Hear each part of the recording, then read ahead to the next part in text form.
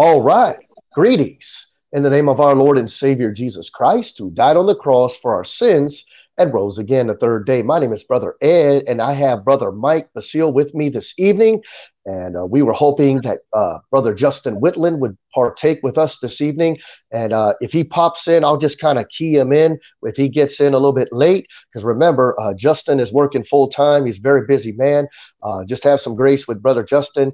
Uh, he tries to come on as much as he can, but if he can't, we'll just try our best to do it ourselves. So, um, this is the Monday night Bible Q&A, and we do this 8 p.m. Eastern Standard Time, Florida time, USA. If you would like to uh, join with us uh, and you're in another country, account for the time difference, and you can join with us live here. We would love to have you uh, join us and uh, be able to ask your question.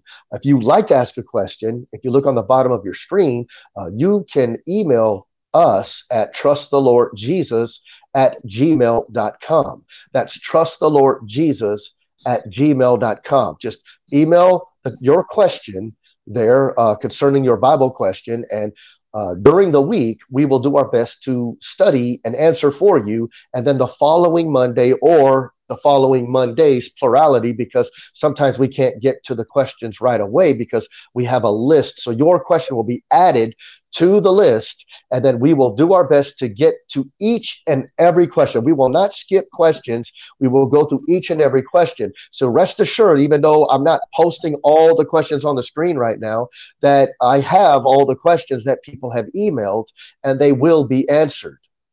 So I hope that you guys can join with with us live here on Facebook Live, or if you don't like Facebook, I normally re-upload these to the to my YouTube channel. That's KJV Bible Scope YouTube channel, and you can just uh, type in KJV Bible Scope in your search engine, Google, whatever, and uh, you'll pump you'll bump right into uh, my YouTube channel, and then you can look at the playlists and you can find Monday Night Bible Q&A 2021 and you'll find all of the playlists concerning the Monday Night Bible Q&A there. Okay? So hopefully, you know, you you do that and we hope we be glad that if you uh, hopped in and learned something new you never knew before if you're saved and if you're lost here's the most important question of them all in a bible q&a where will your soul spend eternity and we don't want anybody to die in their sins especially with a lack of knowledge of what any of us that are saved could tell could tell you or anybody that's lost, which is the Lord loved you so much that he sent his only begotten son to die on a cross for your sins and rise again the third day. And he did that over 2,000 years ago. But what's so miraculous is that what happened over 2,000 years ago, because Jesus being God was the miraculous power of his resurrection and in that resurrection was his finished work that he would do for all mankind, past, present, and future. That if anybody would believe and trust in Jesus Christ, even though he did it in a point of time over 2,000 years ago, he is enabled to save you from your sins because of his complete work that was uh, accepted by the Father and that would be the redemptive plan for all mankind throughout all ages. If you would believe and trust that Jesus died for your sins, rose again a third day, you'd have eternal life, reconciliation to God, and forgiveness of sins. What a powerful, powerful uh, redemption plan that only one true God supplies to mankind. All other ways are false. All other religions are false. They're a lot of them are based in steal and knock off truth from the Word of God.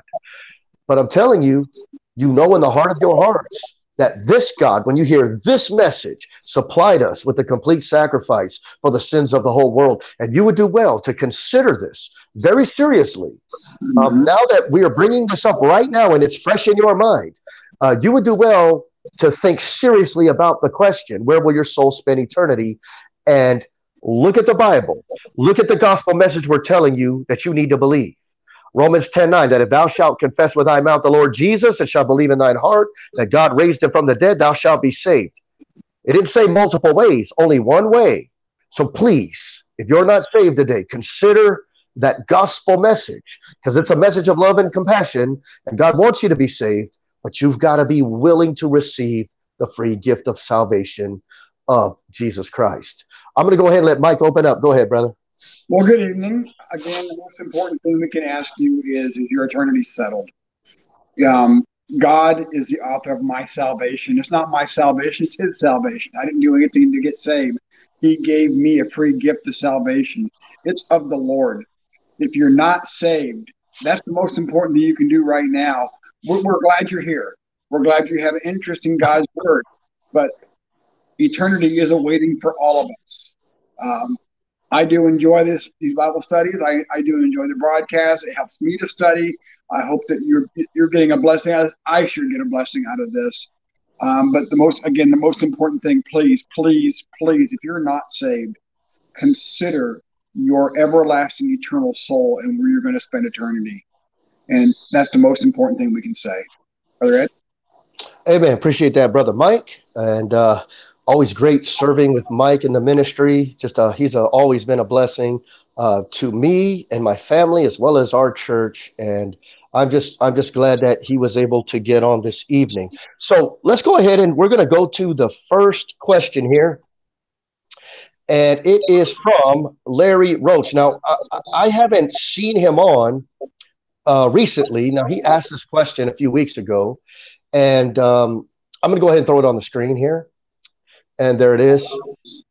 And he asked this question. I don't know if it was a question to kind of throw something out there that maybe he thought that Christianity couldn't answer, or if it was from a sincere heart and he really wants to know this answer, or if it's from a lordship's uh, false doctrine, repentance, salvation type of a uh, of an angle. I don't know the angle, and so there isn't enough uh, detail in the question to really know where he's coming from. And I don't want to assume, I don't want to approach an angle that he's not approaching. So it's it's going to be pretty tough for us this evening because me and brother Mike are going to approach this at many different angles. Okay, so here it is uh, from Larry Roach. If I was saved, if I was saved and used in the ministry of God and sinned, does that make me unclean again and unable to be used of God?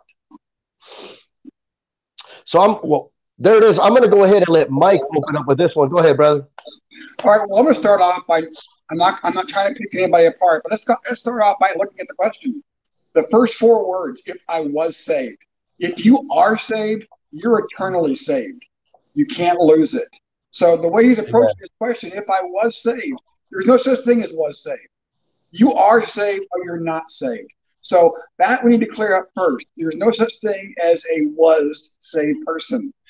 If if I am saved and, and was used in the ministry of God and then I sin, if I am saved, I'm still saved. If I sinned against God, I'm still saved because God's the one that promised to keep me and to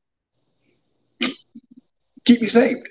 Um, so um, I want to make sure that is a, a point for us to understand that because the first four words was saved or some such thing. So I, I know it's picking apart the question. That's important. Uh, if you think you can lose your salvation, and the way this is written, it's, it looks like it. You cannot lose your salvation because you didn't earn your salvation. Jesus Christ, who cannot lie, told me he would keep me forever.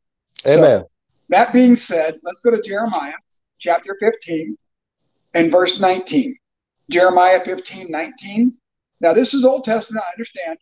Um, Therefore, Thus saith the Lord, if thou return, then I will bring thee again, and thou shalt stand before me. And if thou take forth the precious from the vial, thou shalt be as my mouth. Let them return unto me, but return not thou unto them. Again, I know God is talking to the Jews here. I know this is Old Testament, but it does have a New Testament connotation that I can apply, that you can apply to our lives today. What God is saying here is if you return, he will receive you. If you return, he will allow you to stand again before him, clothed in the righteousness of Jesus Christ, a promise that was given to you the moment you were saved. He will again let you handle his word in witnessing. He does not want you to return to your sinful past. So that's that verse is saying, if thou return, repent of your sins, turn back to God, you can stand before me, and, and then you can be as my mouth. You can witness for him again. God desires for you to come back to Him. God does not want you to stay in your sin. God will help you get out of your sin. God will convict you of your sin, but God is not going to force you to get out of your sin. So that's what that verse is saying. Let's look at a couple other verses. Psalm 51. It's a that's my this is my favorite psalm for restoration and, and for sin. David wrote this psalm after he sinned with Bathsheba. Psalm 51, verse 12. Restore unto me the joy of thy salvation, and uphold me with thy free spirit. Now we got to be careful how we read this. It says, restore the joy of salvation, not restore my salvation. Amen. Once saved, always saved, eternal, everlasting, forever. Amen.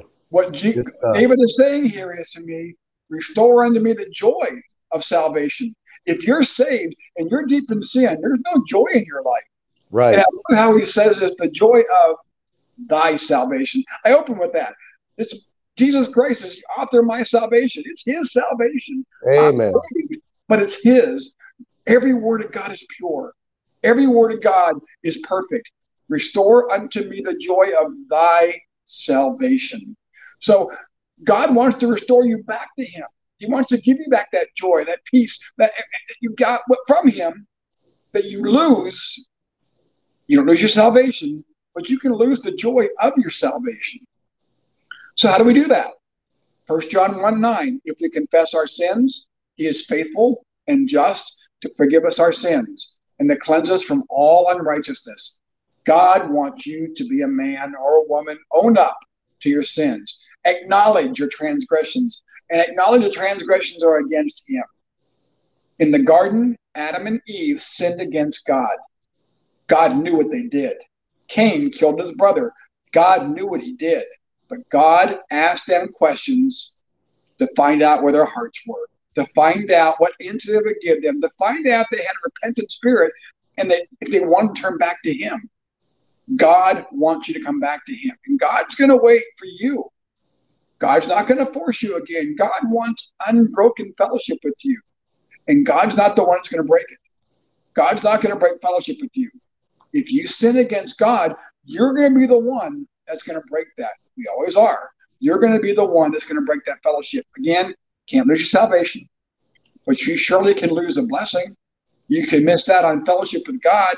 You can miss out on an opportunity to witness. You can miss out on a lot of things while you're in your sin.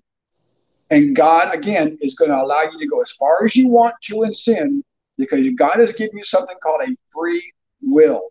Now, once you confess our free sins, God will will jump right in and restore you immediately. God desires to restore you. Psalm 32, verse 5 I acknowledge my sin unto thee, and mine iniquity have I not hid. I said, I will confess my transgressions unto the Lord, and thou forgavest the iniquity of my sin. Selah. I will confess my transgressions unto the Lord, not to a priest, not to an imam, not to a fellow brother in Christ, to the Lord. God wants you to take those sins to Him because look at the first part of that verse. I acknowledge my sin unto thee. Your sin is against God. The um the prodigal son, when he came back to his father, he said, I know I've sinned against God and against you. He acknowledged the fact that his sin, even though it hurt his father, was a sin against God. And that's a great example of how you need to own up to your own sin. You need to make sure you understand that that sin is your sin and you've sinned against a holy and a righteous God. And as soon as you understand that, as soon as you accept the fact that you've sinned and offended the Lord, then you confess it and God accepts it. We confess our sins by praying to God. We pray directly to God. If you are a saved believer, you have access to God whenever you want to. You don't have to go through a, religious leader. You don't have to go through a religious trial or a religious ceremony, you have access to God right now. Now, whether it's a small transgression or something more serious, now here's where the question has a problem. I don't know what the sin is. I don't know what this guy did. I don't know how horrible that sin was. So, for us to answer that question, I'm to have to give you that answer in layers. So, I don't know what his sin was. So, I have to assume what the sin was. when the Lord makes us aware of our sin by either reading of his word or him shining light upon us, we must immediately admit it. We must immediately ask for forgiveness. Religion will have you go a certain place or a certain person to confess that sin. It's not scriptural. No matter where you are, like I said, as soon as you're made conscious of your sin, you can confess it right away, no matter where you're at. The Lord will accept you as soon as you pray to Him. If you're saved, He dwells inside of you. You don't have to go very far to talk to the Lord. He is in you. Now, to confess means to admit or acknowledge your sin. Don't cover it up. Don't act if you didn't do anything wrong. That is a tendency of a lot of Christians today is to cover up their sin, to make light of their sin, to gloss over their sin, to make themselves feel better. But that, that's not repentance. That's not true going back to God. So, how do you know when you've sinned? First John 1 5. Uh, then this is a message we've heard of him and declaring to you that God is light and in him is no darkness at all. God has given us light in our lives. We feel guilty when we sin. We knew of sin before we even knew what the sin was. As a child, you felt guilty when you sinned against your parents, when you broke your parents' rules. God gave you that light, according to Romans 1.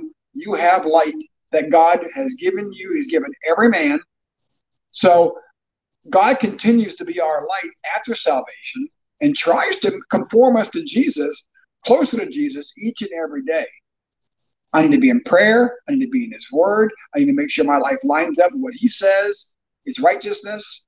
Instead of trying to justify my sin, I need to agree with God right away and accept that sin and not cover it up. Now, can you be used of God after you sin? Of course. Of course you can. If you are a pastor or a deacon, you need to humble yourself. You can serve in a church. You may not ever be a pastor again. I don't know what the sin is. You may never be a deacon again, but you need to humble yourself and serve in a church to prove to God and the men that you have forsaken that sin and desire to live a life separated to God. That's a hard thing to do. Somebody who used to be a pastor that had fallen into deep sin is not going to be the pastor that church is. Now, sadly, in this world, there are churches where the pastor has committed adultery, left his wife, and married the church secretary, and, and still is the pastor. That's wicked. That is ungodly. That is not what God set up in His Word. God wants you to grow. He doesn't want you to fall again, but He also doesn't want you to be a stumbling block to those around you. The testimony of the church that you belong to is hurt, it's tainted, and it could be tainted for years to come and maybe forever. Again, there are men in the pulpit right now that committed horrible sins, and that's not a God. Um, it'll it's going to give those outside the church occasion to blaspheme God. The greatest example in the Bible is probably David with Bathsheba. David committed a wicked sin with Bathsheba. He tried to cover it and had Uriah killed. His wickedness was compounded. He tried to cover his sin, and he thought he got away with it until God sent Nathan to confront David. Second Samuel chapter 12. I'm going to start in verse 12. It's, it's a long passage, but I think you need to hear it. And the Lord sent Nathan unto David. And he came unto him and said unto him, There were two men in one city, the one rich, the other poor. The rich man had exceeding many flocks and herds. The poor man had nothing but save one ewe lamb, which he had brought up and nourished up, and it grew together with him and his children, and to eat of his own meat and drank of his own cup, and lay in his bosom, and was unto him as a daughter. And there was a traveler come unto the rich man. He spared to take his own flock of his own herd and dressed it for the warfaring man that was coming unto him. But he took the poor man's lamb and dressed it for the man that was come unto him. And David's anger was greatly kindled against the man. And he said to Nathan, As the Lord liveth, the man that hath done this thing shall surely die. Now, what David did, he committed murder and adultery. Those are both death penalty offenses. Stealing someone's lamb wasn't. But David's anger was kindled. As the Lord liveth, the man shall surely die, and he shall restore the lamb fourfold because he did this thing, and because he had no pity. And Nathan said unto David, Thou art the man. Thus saith the Lord of Israel, I anointed thee king over Israel, and delivered thee out of the hand of Saul, and gave thee thy master's house, and thy master's wives into thy bosom, and gave thee the house of Israel and of Judah. And if it had been too little, I would have more have given you such and such things. What God is saying here is, David, I've given you so much. And if whatever you wanted, I'd have given it to you. But David took of the thing he wasn't supposed to have. Wherefore thou hast despised the commandment of the Lord to do evil in thy sight. Thou hast killed Uriah the Hittite with the sword. David never wielded that sword, but in God's eyes, David did. And has taken his wife to be thy wife, and has slain him with the sword of the children of Ammon. Now there, therefore the sword shall never depart from thine house, because thou hast despised me, and hast taken the wife of Uriah the Hittite to be thy wife. Thus saith the Lord, Behold, I will, I will raise up evil against thee out of thy own house, I will take thy wives before thine eyes and give them unto your neighbor, and shall that he shall lie with thy wife in sight of the sun, for thou didst secretly. But I will do this thing before all of Israel and before the sun. And David said to Nathan, I have sinned against the Lord. It's a good start. And Nathan said unto David, The Lord has, has put away thy sin. Thou shalt not die. Howbeit, because by this deed thou hast given great occasion to the enemies of the Lord to blaspheme. The child that is born unto you shall surely die. David was restored. Praise the Lord. Eventually, he was used greatly of God. Eventually, and God called him a man after his own heart, but it took time. So my answer to you is yes, God will and can restore you fully. But here's the catch men may not. You need to rebuild your testimony, and that takes a long time. You will reap what you've sown. You will need to work harder than ever before, and in many cases, to be an example above what you used to be to prove to others. Do you love God enough to move forward for Him because of Him? Do you love God enough to endure to reap what you sown? Jesus endured so much for me on the cross. Jesus endured my sin, who had no sin. He humbled himself and became sin for me, will you humble yourself and serve God? I don't know what that sin was. And it really doesn't matter what that sin was because God forgive all sin. If he, if he was saved, is saved, he still is saved. God will restore him. But God is not a liar. he not deceive. Whatever man soweth, that shall he also reap. Whatever that sin was, whatever, however far he fell, if he was removed from a pastorship, if he was removed from being a deacon, if he's removed from being a, as a Sunday school teacher. That is something that he may never gain back. You may never gain back. But do you want to serve God? Do you want to fellowship with God's people? There's where you got to have God's heart. You have to be like Jesus. You need to humble yourself. You need to put yourself in a position where God can use you again, and God will use you again. David was used greatly after this thing with Bathsheba. But David, David had to come to the position where he fully humbled himself and laid everything in God's hands and let God restore him. It's going to be a hard thing. It's easy with God, it's hard with men. So that's the answer to the question. Yes, God can restore you. God, yes, God can use you. But do not be so prideful thinking, I used to be a pastor. I'm going to run this next church. You may not. Brother Ed?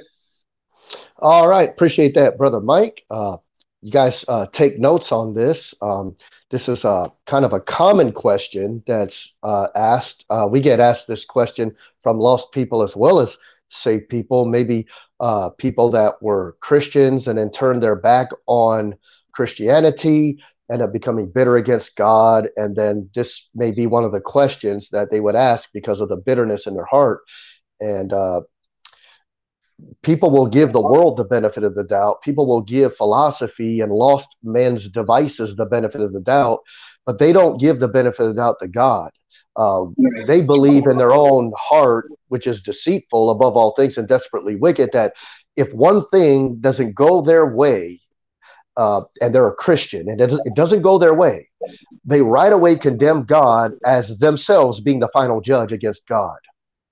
And because they didn't understand the Word of God, they never uh, sat long enough uh, in Christianity to learn the Word of God and to learn the mind of God. Uh, they ended up trusting in their own hearts and then got bitter against God when, uh, by their own understanding, turned their back on God. And uh, what a shame that so many, there's a, a epidemic of people doing that. And uh, that's just not Christianity, what these people are doing. So, uh, let let me go ahead and I'm going to read the question again here. If I was saved and used in the ministry of God and sinned, does that make me unclean again and unable to be used of God? I find in the very question itself a lack of understanding of salvation, as Mike said earlier, because uh, somebody that knew salvation, at least the, the fundamental tenets of salvation, uh, already would have reworded this question. I mean, the question wouldn't be asked this way. But I can see that there was a lack of understanding. I don't say that disrespectfully. I say that for what it actually says in the question. Okay. So here's my response Were you really saved? Uh, as Mike said earlier when he opened up, were you really saved? And if you were, how does one get saved? Now, I'm going to share that really quickly. First uh, Corinthians 15, 3 and 4. Christ died for our sins according to the scriptures, and that he was buried, and that he rose again the third day according to scriptures. Romans 10, 9. I'll couple that up that if thou shalt confess with thy mouth the Lord Jesus, and shalt believe in thine heart that God hath raised him from the dead, thou shalt be saved. So, did you get saved according to what the Bible says salvation is? And if you did, then there must come along with it the understanding that once you're saved, as Mike said earlier, you're always saved because it's Jesus's finished work that saves Amen. us. Amen. So that has to be coupled with you trusting in this gospel message of Christ's finished work on the cross. You have to couple eternal security up with trusting Christ and his finished cross. You have to put those two together. Otherwise, Christ died for nothing okay? Because that's what it boils down to when you don't couple those two together. It, you're just saying christ died for nothing and all you got to do is be a good person. So all you got to do is be a good person and not sin. Well then christ came down to this earth and lived a holy perfect sinless life kept all the laws that we supposedly couldn't keep. He did all that for nothing because because we could keep the laws right? All of us could including gentiles we could keep the laws well, none of us can keep them. We can't keep them when we were lost, and we certainly ain't keeping them when we're saved. Now, there. Now, listen to me. I, I say that boldly because uh, First John, the book of First John. I would like to go to, to chapter two, but if you just take the whole book as a whole, it's dealing with our fellowship with God. And in the fellowship with God, in our relationship with God, there's going to come times where there's troubles in our relationship, just like in any relationship you would have with a human being. If you'd have a friend, there would come troubled times with your friend. If you had a marriage, there'd become there would come troubled times in your marriage. But what are we looking for in a best friend? What are we looking for in a successful marriage? We're looking for faithfulness. We're looking for not the I mean, everybody wants a perfect marriage. Everybody wants a perfect friendship with their best friend. But in reality and practicality, we know that's not the case. So, what makes uh, the attributes for being a best friend? What makes up the attributes for having a great marriage, or, per, or I would say a good marriage, not a perfect marriage, but a good marriage? I would say faithfulness, and not and knowing that when the times get rough and there's disagreements, that there would be no cause for us uh, for you know in the times of trouble to be unfaithful. Even though we may mess up in certain areas we may say things we're not supposed to say but there's this general outlook within the marriage that we would say okay there's troubles coming in the marriage. How are we going to handle those troubles? You know? And i don't think you know when, when we look at these practical examples of relationships that we have every day in our daily lives we don't we don't contrast that with a relationship with God. Now, true, I, I mean, I understand these are finite examples, but God is a God is a person, and He wants a relationship with you. And in the relationship, He's always faithful. It's kind of like somebody in a marriage where it's one sided, where the person's always faithful as much as they can, but the other one's always messing up. And you know who we are as the church? We're the one that's always messing up all the time. We're not faithful all the time in every single area of our lives. I mean, that's really boasting if you think you are. I'm pretty sure if any of us could take the magnifying glass out, you would try to come back at us and say, Don't don't the Bible say thou shalt not judge? I mean, you pretty much want to go down the road of not wanting to be judged because you know we would find things in your life. So everybody still sins. Everybody still does wrong things, which is sin. So what we have to do is how do we now, now mind you, there are sins that we know if we commit, it's going to destroy our marriage. And there are certain other sins that if we commit will cause problems in our marriage, but they can be fixed with a sincere heart and repentance. You can fix that marriage. And there's other things that you can do that may not be so serious, where your wife just says or your husband just says, No, I'm done with you. You know, and, and that happens. So with God, who's the righteous, the righteous one in the relationship, he will always do right. He will always be faithful. He will always be trustworthy. He will never do wrong to you, but we will always find a way to do wrong to him. So, with that being understood, we still sin. And we love God because he first loved us, but his love is not based upon our doing right every single time of every single day in every single thought, action, and deed. His love is based upon his unconditional attribute because God is love. He loves you. Even when you sin, he loves you. It, just because I say God loves you even when you sin doesn't mean he's approving of you sinning. I'm not saying that by no means, but he still loves you. Just as a father loves his child, even when his child sins, uh, the father reaches out to the child and tries to explain or chastise or spank the child and say, I don't want you to go down this road. It's going to lead to a, a, a life of disaster, a life of trouble because he loves his child. And so God our Father has a more perfect love than a finite father does and does the same for us. So you, you need to understand that the relationship we have with God is infin- infinitely better than what we could fathom with earthly relationships. But I'm just, you can see I'm using some contrast there. So, were you really saved? How does one get saved? We covered that. What does it mean to be used in the ministry of God? Look at 2 Corinthians 5.17. 2 Corinthians 5.17. Therefore, if any man be in Christ, he is a new creature until he messes up. Nope, doesn't say that. Uh, he is a new creature. Old things are passed away. Behold, all things are become new. That would be great if it was an actual reality in the lives of believers.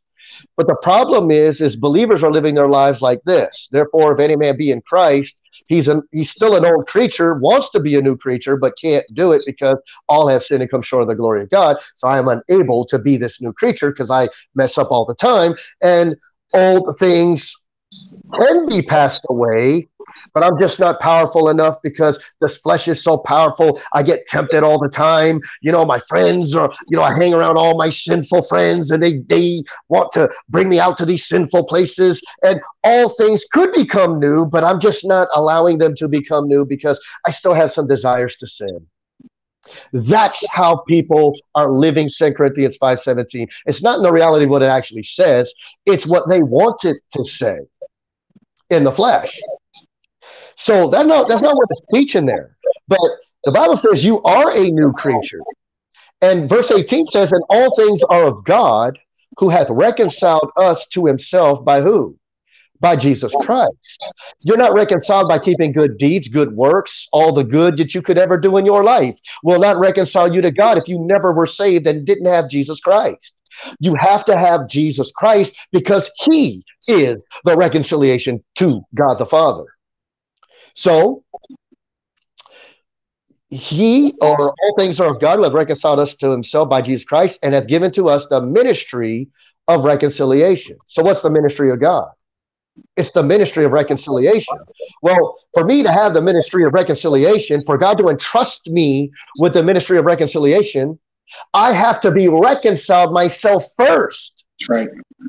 How am I going to preach to anybody else the ministry of reconciliation when I myself hasn't haven't been ministered the ministry of reconciliation so I can get saved to be reconciled to God? So if I'm reconciled to God and, and I am enabled to minister to others, then wouldn't that me being reconciled to God be proof positive that I'm saved forever. And now I want to share that reconciliation with other people so they can be saved forever and have reconciliation forever with God. Certainly, certainly that would be the case. So, this whole ministry of reconciliation is huge on eternal security because it says, I am reconciled past tense the moment I believe. It didn't say I'm reconciled until the next time I sin, and then I must be reconciled again. And then again when I sin again, and then I need to be reconciled again when I sin again. It's one time reconciliation. That's right. And that's that. Now, listen, we're talking about the ministry of God. If I sin, can I still be used of God in the ministry of God? Well, I've already been reconciled. I still sin. But Jesus Christ ministers to me as a saved member of the body of Christ, as Mike stated in First John 1. If we confess our sins, he is faithful and just to forgive us our sins and to cleanse us from all unrighteousness. That is not getting saved again. That is not being reconciled again because you lost reconciliation because you sinned after you were saved. That's not what that means. It means I'm already saved, but sometimes I fall down. Sometimes I mess up. Sometimes I sin, whether willing, willingly or ignorantly. Sometimes I sin. And I can go to God, Jesus Christ the righteous, my advocate with the Father, and I can confess my sins, and He is faithful and just to forgive me of my sins and cleanse me. Come on, concerning our relationship, He can cleanse me. I can't cleanse mm-hmm. God, He never does anything wrong. God doesn't need a, an advocate. Jesus is the advocate for us. So, see how it's one sided? We always need to be the one to fix our relationship with God because we're always the one leaving, uh, leaving the relationship. We're always the one going towards sin. The Bible talks about in Hebrews the sin that so easily besets us. It's so easy for us to go to sin, even though God has did so much for us that He does not deserve that. He doesn't deserve us cheating behind His back with sin and other gods and making idols in our heart. God doesn't deserve that. But yet, even though we give God this Come on, we're not a blessing to God most of the time, are we?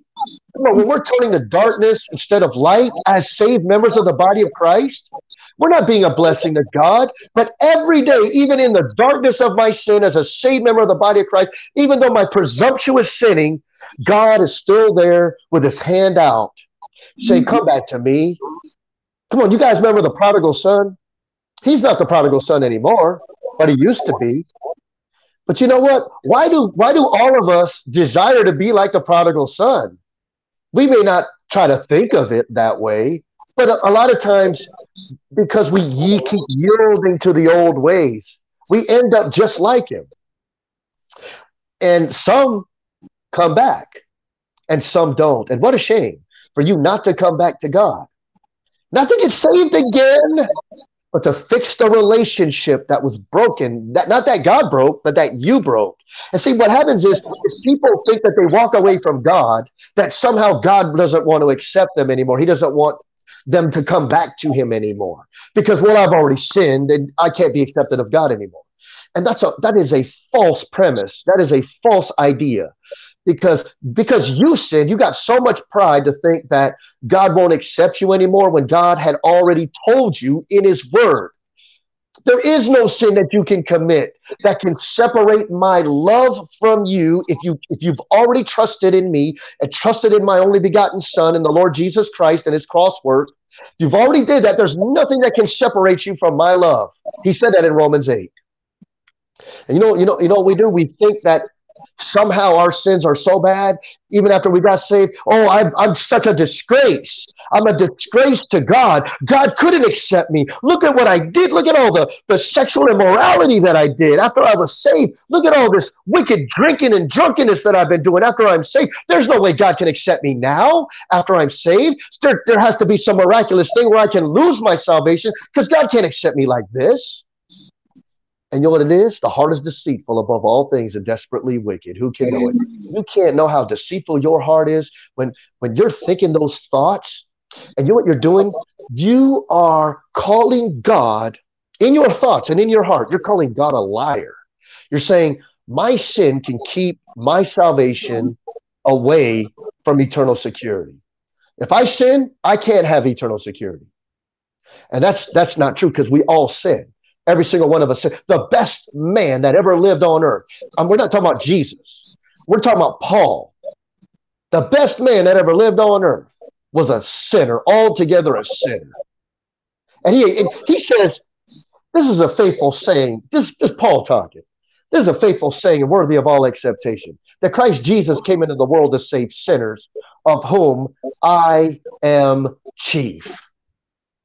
Paul called himself the chief sinner. You know, Paul ain't the chief sinner. You know who's the chief sinner? We are. Amen. I think every single human being should own up that they're the chief sinner. And when you can do that, that's a humble position. Because I, I think I think to say even even in a way that you know I'm just a sinner. I I, I say I'm a wicked sinner. to say I'm just a sinner would be a little bit of pride there. Well, I'm not as I'm a sinner, but I'm not as bad as a sinner as this guy. But we should all see ourselves as sinners uh, and wicked sinners at that. Right. So, what does it mean if a Christian sins versus when a lost person sins? I think that would be need to be understood in the question as well. Christians have already received the Savior for the salvation of their soul. First Timothy 2 5 to 6, right? And after salvation, we still have an advocate, Jesus Christ, right? First John 2, 1 to 2. Lost people have no way to have forgiveness of sins or forgiveness concerning sinning in their relationship to God because they have no relationship to God. I'm not saying they can couldn't get saved and then have a relationship with God, but if they remain in their situation in their predicament, they have no savior, they have no forgiveness of sins.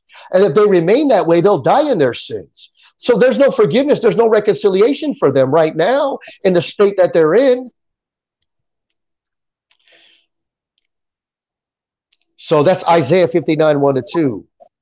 So how can you be unclean again after you're saved? I don't understand that idea. I mean, just the idea of being unclean, Isaiah 64, 6, we are all as an unclean thing, and all of our righteousness are as filthy rags. Now, I believe that concerning the human being and the nature of the human being. If, if, in my human nature, in my flesh, as a saved member of the body of flesh, in, in my nature, in the body of flesh, if I'm trying to do something by my own power for God, God says it's a filthy rag, even after, after I'm saved. But if I do it in Christ, if I do it by faith, then God looks at that. He says, that's not a filthy rag because that's done in faith, right? Hebrews 11, 6. But without faith, here it is, it is impossible to please him. So if I do it in faith, it pleases him. But if I do it in the flesh, it doesn't please him, even as a saved member of the body of Christ. How much more if you're lost and undone, any good deed that you could ever do, no matter how great the deed is, it's a filthy rag to God. God says, You're not getting to heaven. You're not going to get forgiveness of sins. You'll not get reconciliation to God. You'll not have any of this. And so that's kind of the point that I'm trying to make about the unclean. And uh, how could you be unclean again concerning being lost? You couldn't be. I mean, I just said it. Certainly, there are certain works that we can do as a saved member of the body of Christ that we do in the flesh that would be unclean to God. But there are other works that we can do in Christ, as I said. But think about this thought I can never be unclean concerning my soul. Amen. Amen. My soul can never be unclean. Why? Because Jesus has sanctified my soul.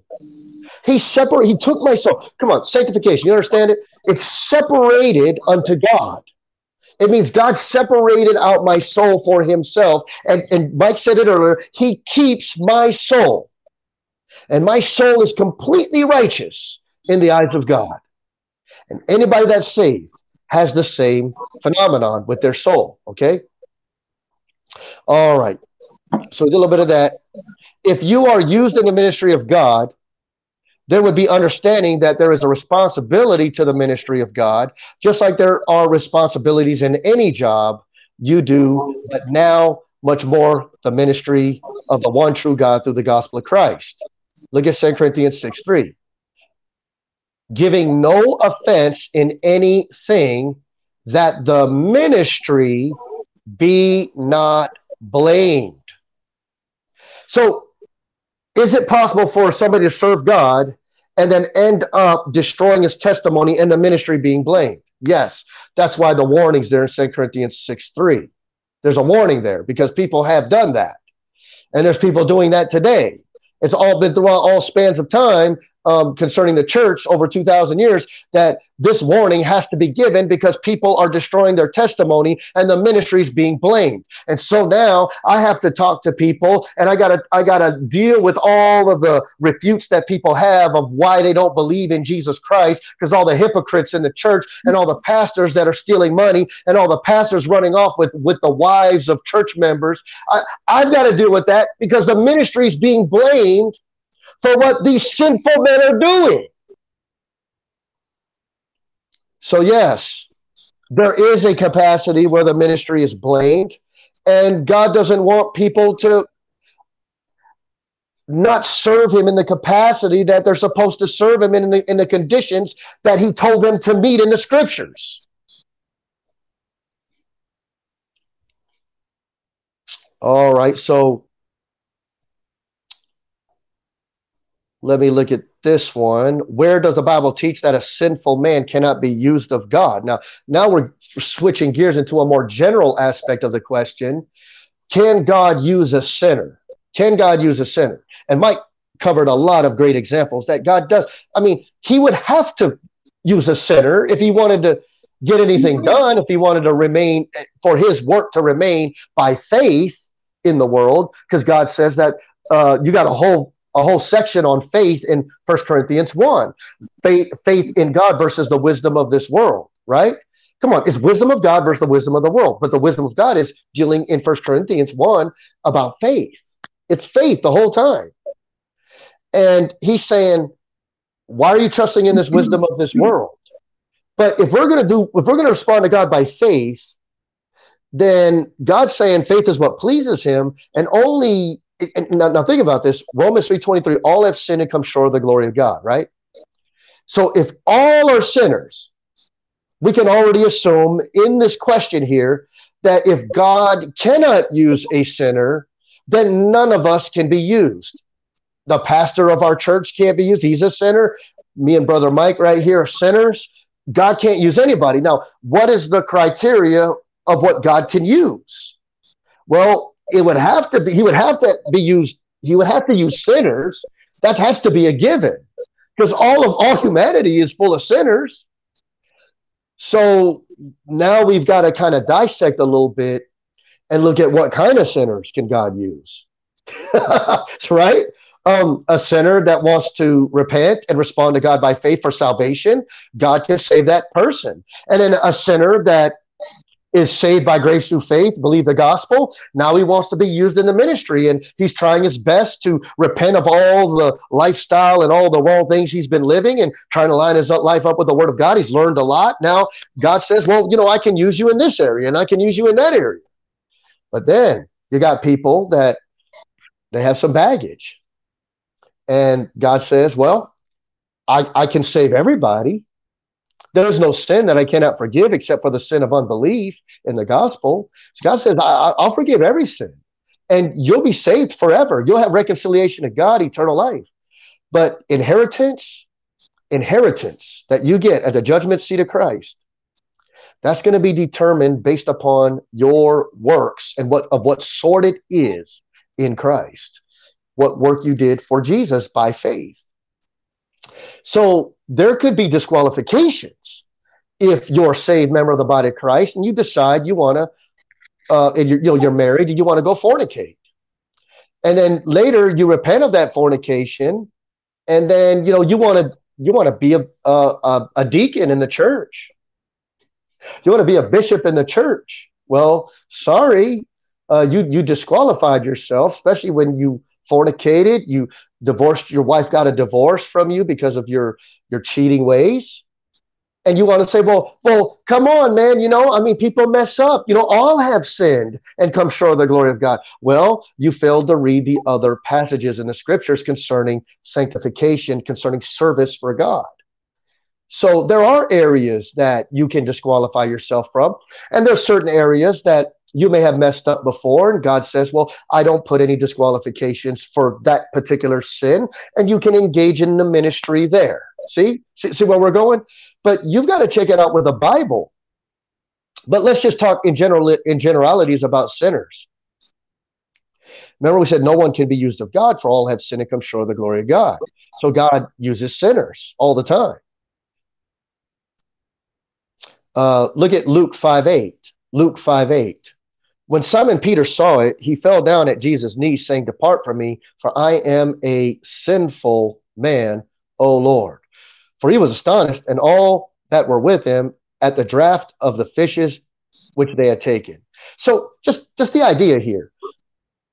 Peter was one of the worst failures, wasn't he, in his ministry? with Jesus as an apostle while Jesus was on earth in his first advent. Jesus was, or uh, uh, Peter was one of the first, uh, uh, one of the worst failures. Peter didn't do right most of the time. He was always known as the one that's always trying to uh, backtalk Jesus, like you know, like Jesus don't know what he's talking about. And then he denies Jesus three times. He falls asleep three times. Here's a man that's disobeying Jesus over and over again and denies the very first advent of Jesus Christ and who he said he was. What what a what a shame that this man was doing that, but yet here's a man that voiced out at Pentecost the wonderful works of God and God used this man to preach at Pentecost to every nation under heaven that were Israelites. How amazing is that? God used a sinful man. And, and even more so, a sinful man that actually sinned in the very uh, eyes of Jesus Christ. Pretty amazing that God can use sinners. But you see, look at the life of Peter. He may have messed up a few times, but you remember when uh, Paul rebuked him uh, and withstood him to his face? Yeah, Peter messed up. He sinned. Remember, he was uh, he was sitting with the Gentiles in Galatians. I think it's in Galatians 2. He was sitting with the Gentiles, and then when the Jews came, he left the Gentiles and wanted to sit with the with the Jews. And acted like he didn't want no part with the Gentiles because the Jews were looking at him. Uh, you, you, see, see, he sinned. He sinned concerning, uh, from what Paul was saying concerning the gospel. Like, well, you know, the Jews are God's favorite. The Jews are the apple of God's eye, you know? And I mean, that's that might have been his mindset, but he certainly did separate himself from the Gentiles and he sinned. And, and Paul rebuked him to his face because he sinned. Now, here's a man that sinned when he was with Jesus on earth, but still an apostle. And Jesus rebuked him three times, you know, feed my sheep. do, do, do, thou lovest me? He said, feed my sheep three times because he knew that he denied him three times. But you know what? Jesus gave him that chance, didn't he? A just man falleth seven times. But Peter certainly fell probably more than that. And you know what? At Pentecost, God used him and many were come on 3000 people were saved at one time uh, there was other you know thousands of people were saved at the beginning there in the book of acts and then later peter messes up so come on. I mean do you believe the bible? Did peter lose his salvation? No he didn't. He might have messed up his walk with the lord a little bit but he got back up and started serving god again. And that's what we need to do. So separated, sanctified service for God can be better if you had never sinned. I, that needs to be said. If Uh, come on, I'm not saying you're perfect, you never sinned. All have sinned and come short of the glory of God. But the sins that you're wanting to commit, had you never wanted to commit those because you you're obeying the Lord, instead of falling into the temptation and says it's all you know by grace. You know, God's a God of grace. I can just commit this sin. Had you never sinned, you might have qualified yourself for certain services in the church. But because you decided to sin, now you disqualified yourself. Now, again, those are conditional. You've got to look those up of those specific sins. Now, I want to talk about some of those. Fellowship can be hindered by uh, by saved people sinning. Correct. That's right. First Corinthians five nine to ten. Um, for instance, that's dealing with lost people. Lost, we cannot fellowship with lost people, according to 1 Corinthians 5 9 to 10. And it gives you a list of sins and the reason why you not, you're not to fellowship with these people. But I'm pretty sure that you could uh, company with some of these folks if they were not engaged and practicing in those sins of them being lost and undone. So that's why the the list of sins is there for lost people. But then when you go to verse 11, it flips to saved people. And then it gives you a list of what you're not to company with concerning saved people. So you see that even in fellowship, isn't fellowship a ministry? Sure, it is. Fellowshipping with your brethren in the church, that's a ministry in itself. And the Bible says, if it, look, it says, verse 11, 1 Corinthians 5, but now I've written unto you not to keep company if any man that is called a brother, see, he's saved. He's a brother in Christ. A brother be a fornicator or covetous or an idolater or railer or drunkard or an extortioner, with such an one not to eat. What are you going to do? Look, look at verse 13. But them that are without God, but them that are without, God judgeth. Therefore, put away from among yourselves that wicked person. You're, you're to put him away. What do you mean put them away? No, no, you don't. You don't kill them. You know, you don't snuff them out. No, you you put them away. You separate yourself from him. You're not fellowshipping with him. You're not eating with him. You're not you're not confiding in him the deep things of Christianity. See that? So a little bit of that. Certain sins can disqualify you uh, from ministry service temporarily. Other sins can disqualify you from the ministry service permanently. And it depends on your, the sins that you've committed conditions concerning divorce after you were saved. But the conditions reached to even when you were divorced, when you were lost and later were saved. Those conditions are still applying. You know, if you were divorced when you were lost, you're going to disqualify yourself from being an elder in the church. There's qualifications for elder in a church. You're not going to be able to be one. Well, I you know I, I want to be able to serve God. Well, that's great. You can serve God maybe on a capacity for going out into the world. Oops on a on a capacity for going out into the world and preaching the gospel to every creature. You could still do that. You're still qualified to do that. But then even in even in that, there are some conditions met. Uh, the Bible actually says that those that uh, preach the gospel should live the gospel. Are you living the gospel? If you're not living the gospel, why are you out there preaching? You're just going to bring a bad testimony to the Lord Jesus Christ. You're going to remember we just talked about it that the ministry of God be not ashamed. So there, there's some qualifications there, even in a good testimony as a Christian. See that? When you're presenting it to another person, the person shouldn't be able to look into your life and say, I just saw you at the bar last week. You were drunker than my best friend was.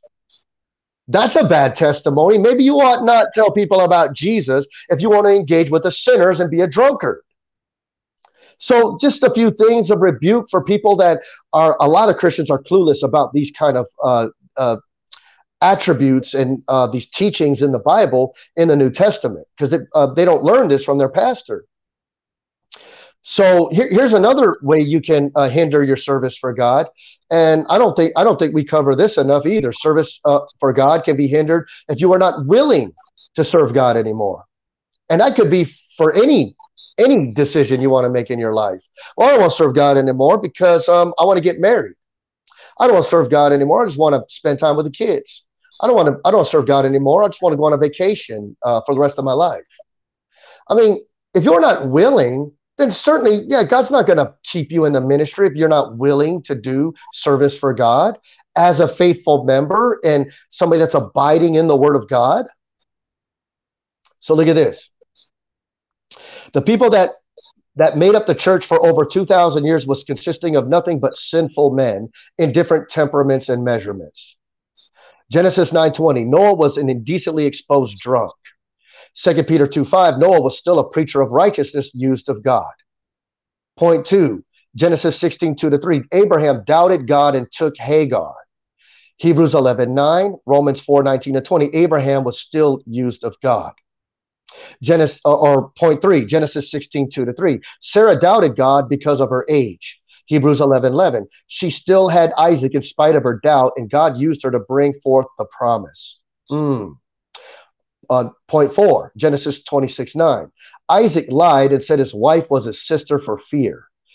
But God still used Isaac, Hebrews 11 20. By faith, Isaac blessed Jacob and Esau concerning things to come. Point five, Genesis 27 12 and Genesis 30 42. Jacob was a liar and deceiver. God still used Jacob after, even after all of his sin and supplanting ways. Hebrews 11 21. By faith, Jacob, when he was a dying, blessed both the sons of Joseph and worship leaning upon the top of his staff. How about that? Point six, Exodus 4:10, Exodus 2:11 and 12. Moses was a stuttering murderer. But Moses was used of God, even being a, stud, a stuttering murderer. Hebrews 11, 24 to 28.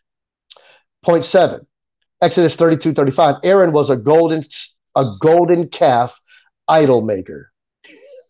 God still used Aaron as high priest even after his idolatry, Exodus 28 1. Point eight, 2 Kings 5.22, Gehazi used God for greed. But God still used Gehazi to testify of the works of Elijah, 2 Kings 8 5. Point nine, 2 Samuel 11 2 to 5, 2 Samuel 12 9. David was an adultering murderer. But David was used of God despite being an adultering murderer. 2 Samuel 12 7. God made him king. And David wrote around, uh, yeah, David wrote around, after all that, right? All that sin, David wrote around 75 Psalms in the Bible, inspired by inspiration of the Holy Ghost. Point 10, 1 Kings 11 3. Solomon was an extreme polygamist and idolater. God still used Solomon. God used Solomon in the written word of God to write Proverbs, the Song of Solomon, and Ecclesiastes. God used Solomon and made him a king. 1 Kings 4 1. After his ordeal with all his wives and his idolatry, 2 Chronicles 9 23, 1 Kings 11 41, Matthew 12 42, he reached the kings of the earth and the queen of the south with the wisdom of God. After his wicked practices of idolatry and all that all that polygamy with his wives that sinful stuff right? Judges 639.11 judges 639 gideon doubted and he fleeced god. He tested god. Called god called him a mighty man of valor judges 612 gideon was a military leader judges 717 gideon was a political opposition judges 8 1 to 4 gideon was the fifth judge that god chose who by faith subdued kingdoms, wrought righteousness, obtained promises. Hebrews 11 32 to 33. How about that? Acted in faith, and, and it pleased God, even after his sinful ways. Point 12, Judges 11 30 to 31. Jephthah. Oh, what a grim story this is. Jephthah, the son of an harlot, made an ignorant vow to, to he made an ignorant vow to God that cost his daughter's life. And Jephthah was used of God, being a mighty man of valor, and still won the battle against Ammon, even though he made the sinful vow, because God used him.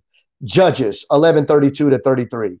Point 13, 1 Samuel 229, 321. Eli cared for his sons more than God.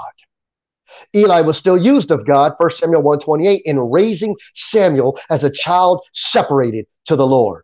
God used him. He used a sinful man. Point 14, Job 32 1. Job was self righteous. No, just was, uh, uh, Job was just. He was a righteous man in his days. No, no, Job was a, Job was self-righteous. Look at Job 32, 1. So these three men ceased to answer Job because he was righteous in his own eyes. Job 47 or, or Job 42, 7 to 8, Job 42, 10. God used Job to pray for his three friends, and Job spoke the right things concerning the Lord. See how God can even use Job, even if he's self righteous in his own eyes, like many of us are? Jonah 1 3, Jonah 3 10 uh, to 4 1, Jonah 4 3, Jonah 4 9. Jonah had murder in his heart concerning all those verses and ran from God. But God used Jonah to save a whole Gentile city at one time, which is the greatest revival in human history. Jonah 3:10. How about that for using a sinful man who didn't want to do the bidding of God? He would rather jump uh, overboard and commit suicide than to obey God, to go somewhere else than to serve God. Point 16, Acts 2 20 or 22 4, Acts 8 1, Acts 8 3, Acts 9 1, Philippians 3 6 All those verses are concerning Paul was a murderer of Christians. Paul, the apostle Paul, was a murderer of Christians. Look it up in all those passages Acts 22 4, Acts 8 1, Acts 8 3, Acts 9 1, Philippians 3 6. God used Paul to be an apostle as of one born out of due time. 1 Corinthians 15 8. He wrote 13 epistles of the New Testament inspired by the Holy Ghost, even though he was a sinner killing Christians witnessed the gospel to Jews, Acts 9:20, and Gentiles, Acts 13:48. He was used in many other ways that is proven in the New Testament. Point 17, Jonah or, or John 20, verse 25. Thomas was a hardened doubter, but so were all the apostles. Mark 16, 14, when Jesus upbraided all of the apostles for their unbelief and their doubt. God used Thomas and all the apostles, Mark 16, 15, to preach the gospel to every creature. They're all sinful men. They were all in unbelief. And, the, and that's the sin of unbelief. They were in a sin of unbelief. But God still used them because of their faith and repentance. See that? God still used them. Mark 16, 9. Mary Magdalene had seven devils. How can a person that had seven devils do anything for the Lord? But God used Mary Magdalene to be the first evangelist, Mark 16, 10. Point 19, Joshua 6 17. Rahab was a harlot. Was she not? God used Rahab, Joshua 625 to hide the Hebrew spies in Jericho. She was a picture of a sinner saved by grace. She is in the genealogy of the Lord Jesus Christ. How, how about that for God using a sinner? Uh, point 20, Judges 1630. Samson was a mass murderer. He killed a whole bunch of people, didn't he? He murdered a bunch of people. God used Samson as a judge to deliver his people out of Gentile Philistine power after 40 years of captivity. And God used Samson as a judge. Judges 13 1. Acts 20, verse 9. Point 21. Acts 20, verse 9. Eutychus fell asleep in a sermon. Eutychus. Is that you? You fallen asleep through the sermons in church? Shame on you. Even though Eutychus neglected the preaching and fell asleep, which is sin, I mean, I, I think that's sinful. You've fallen asleep through the word of God, but you can stay awake through a football game? Really? Are you kidding me? You're not telling me that's that's not sin? Sure it is. You know, slothfulness is a sin, right? And you're, you're sitting just for 45 minutes while the preacher's preaching the word of God. Amen. Amen. And you're going to fall asleep through that. Unbelievable. God did not forsake Eutychus, even though he fell asleep and sinned, but brought him back to life. That's how much he loves him. Hebrews 13 5. You can read about it. Eutychus fell asleep, and when he fell to his death, this is just a neat little rabbit trail. Eutychus fell asleep, and when he fell to his death, this might be a picture of his Christianity. or it could be the fact that he was really tired and fell asleep. I, I mean, we could give him that too. Okay, I'm not saying either or. Just we're just subjective opinion here. But Ephesians 5:14, look at this cross reference for that. Wherefore he saith, Awake thou that sleepest, and arise from the dead, and Christ shall give thee light. How about that? Do you think maybe after Eutychus fell asleep, maybe a picture of his Christianity? And then he died being physically dead, and then here comes Paul, and he's raising him from the dead and showing this guy that he don't need to live his Christianity in death concerning how his relationship was to God, that it wasn't that important. It could have been the case that it wasn't that important, that he could just fall asleep through it. But gave him newness of life after this man was already saved. I mean, he could have been already saved but to show him newness of life and how we ought to be instead of falling asleep in church, showing the condition of our Christianity that we're just walking dead people in our relationship to God, even though we're saved, but that we would have newness of life as Paul came and raised this man from the dead, and that one day that we could actually get an understanding of what God wants from us and just get out of that dead life that we're living as saved members of the body of Christ and live in victory for Jesus. I think that's a there's a good practical lesson we could learn from that. So point 22, John 18, 17, John 18, 25, John 18, 27. Peter denied Christ three times. We talked about Peter, so I'm not going to go down that road. Uh, point 23, Acts 5, 3 to 4. Ananias and Sapphira lied to God for greed. And you say, no, there's no way they could ever be saved because God dropped them dead, right? Acts 5 13 to 14. God used Ananias and Sapphira's testimony. Listen to this as an example to the church and believers, were the more added to the Lord because of this great fear. Wow. Can you imagine? I'd rather be a testimony by the, the right things I'm doing for the Lord. But Ananias and Sapphira were a testimony and a judge and, and a testimony concerning the judgment and punishment of God, which caused people to believe? Would you rather be a testimony to the righteousness of Christ or to the punishment that God, God's going to have on unrighteous judgments uh, concerning our decisions? I don't want to be a testimony for something wrong I'm doing to, for the Lord. But look, God still used Ananias and Sapphira even though they lied to God. He still used them. I mean, who wants to be used that way? I don't want to be used that way. But nevertheless, they were used uh, point 24 and i was going to go to every single person okay? I just wanted to hit quite a few so you can get a substantial amount of testimonies in the bible that it is scriptural that god does use sinners in a general capacity. John 11 14 lazarus was literally literally dead was he not? He was literally dead. John chapter 11 read it. Lazarus's death was used of god to the intent that people would believe on the lord jesus christ John 11, 15. Look what he says. And I am glad for your sakes that I was not there. Come on. When, when Lazarus was still sick and alive, he says, I, I, For your sakes, I'm glad I wasn't there. To the intent ye may believe. Nevertheless, let us go unto him. How about that?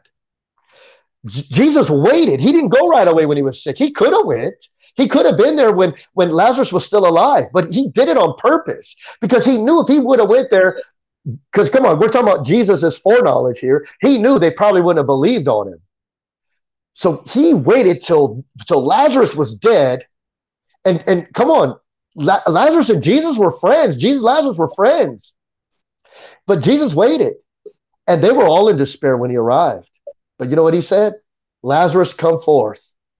And he came forth and he was alive and it was talked about and so many people believed and we're talking about a sinful man. And the proof of Lazarus' sin was that he died and he remained dead until Jesus came.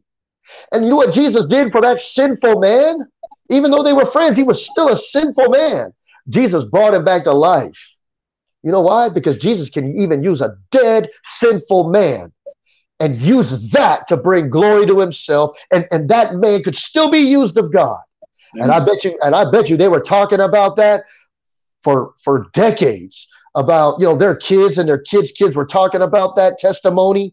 And who knows how many people got saved over that testimony. Like i was there or my great granddaddy was there and he saw with his own two eyes. So how about that about using sinful men? That's that's that's pretty great which brings us to the final point it is really short here because we're already over on time and then i'm going to close out and i'm going to let mike uh, say a few words if he wants to add anything, any thoughts. He can add a few things and then he can close out. But here's the thought encompassing everything we just talked about God doesn't call the qualified, He qualifies the called. Amen. That's the summation for the answer to the question. And so you can disqualify yourself, remember. You can disqualify yourself by your own volition and free will by the sins you want to commit. Do you really want to pay the price? You don't think about the price you have to pay when you're committing the sin because it's fun for a season, isn't it? That's why it says for a season. A lot of times we use that fun for a season to talk about, yeah, right now in this life for a lost person, yeah, when you die, that's your season. From now till you die, that's your little season of sin. And then you're going to be in hell and then the lake of fire for eternity. Well, think about this. Think about the season another way when you're saved. People want to have fun for a season, and in in the idea of, well, I've sinned, now I'm suffering the consequences of sins. I want to get right now. I want to get right with God now. And then they repent. I'm not talking about to get saved. They repent because of the wicked lifestyle they were living as a carnal Christian. And now they want to get right with God. And now they just completely think, first of all, that because they repented and they have a sincere heart, that God's just going to allow them to do anything. And the pastor's going to allow them to do anything in the church. I can serve on any capacity. The problem is you didn't think about that while you were committing all those sins. And now you disqualified yourself from certain things in the church. And you got nobody to blame but yourself. You can't blame the devil. You can't blame God. You got to blame yourself because you're the one that's in charge of your spirit, your body, and your, your flesh. You're in charge of that. And if you want to blow it, you can blow it. God says you can blow it if you want. You can destroy, completely destroy your whole inheritance if you want to. But don't sit there and, and come up to God at the judgment seat of Christ talking about why are all these people getting all these things? Why are they ruling and reigning in the kingdom? How come I'm in the kingdom and I'm not ruling and reigning with everybody else? Why am I not able to get the rewards? I mean, what's all this reward thing? I never knew about this. What's this huge inheritance that everybody's getting that I didn't get? You can't complain. You have no business to complain. No, you are like, I'm saved. I can do whatever I want, and I'm going to choose to sin. Out of all the things you could choose to do and all the things that you would want to do, you're going to lean towards sin when God says, But I made you a new creature now. The moment you believe, you ought to desire righteous things in the holy word of God. But you chose not to. And that's your own fault. And what I'm telling you is, I'm not saying remain there, just stay there, but wherever you're at, whatever capacity that you're serving at right now, don't go down no more sin. Don't take those roads anymore to sin and darkness. Stay on the road to righteousness as much as you can. You may fall in certain areas, but stay close to God as much as you can. Church, prayer, get around believers. Go, don't go to those places anymore that are sinful. Stay away from those rated R movies. You don't need to turn on, you need to entertain yourself all the time. Why don't you get in the Word of God and, and, and really know God? Come, that can consume your time. Get around believers. Iron sharpeneth iron. The problem is we want to entertain ourselves all the time. That, and we live for it because that's all we, we've ever known when we were lost and undone. And as carnal Christians, that's all we, we've ever known before we learn truths like this. So what do we do? We remain stagnant, never doing anything for the Lord. And that's sinful. And we want to get out of that. So let's get out of that. Uh, have victory in Jesus if you're lost or, or if you're saved, have victory in Jesus. If you're lost, you can have victory in Jesus, but you got to get saved first because Amen. Jesus obtained the victory through the, his cross work. The moment you believe that Jesus died for your sins and rose again the third day, you would pass from death unto life. Amen. And you could be saved, not for now, but you could be saved for eternity concerning your soul. So I'm going to end it there. I hope you take uh, uh, take admonishment to uh, what I said about that, what Brother Mike said about that. But I'm going to go ahead and end it here. I hope you guys join next week for our next uh, question for the Monday Night Bible Q&A, uh, 8 p.m. Eastern Standard Time, Florida time. And uh, remember, the email is trustthelordjesus at gmail.com com. Hope you ask a question this week and we'll tag it on at the end of all our questions. I'm going to go ahead and let Mike close out. Go ahead, brother. One one quick note, um, a little bit of um, retrospect. I have a dear friend of mine that fell into sin, left church, decided no longer to come to church, and that sin was more important to him. We dealt with him. We dealt with him. He repented, came back to church. Um, then he decided he wanted to be in charge of ministries. Well, he had just come back to church, and the church wouldn't let him be in charge of ministries. So he decided that, oh, well, I'm gone again. He's no longer in church. He hasn't been back in church in quite some time. If you fell into sin, God will restore you back to fellowship, but He may not back, restore you back to that position. You need to not to you need to humble yourself and put be used wherever God puts you you can still be a soul winner. You can still be a witnesser. You may not be in charge of ministries, but God still wants to use you. If you're not saved, God can't use you. If you're not saved, you're on your way to hell right now. So please get saved. That's the most important thing you can do. God wants to use you. God wants a fellowship with you. You can be used greatly of God, even if you have sin in your past. Because, like Brother Ed said, we've all sinned, and all God can use is sinners. If God will use nobody, if if you sin and God can't use you, God can't use anybody because we've all sinned. So right. um, we shouldn't glory in our sin. We need to put the sin behind us. We need to we need to press forward to the market for us, like Paul did, and just serve God. We we sure do love you. Thank you for the broadcast. I know it went over. Sorry about that, um, but this is important. Um, we just want to make sure that you understood it. So y'all have a great night. Thank you so much again for everything. Amen.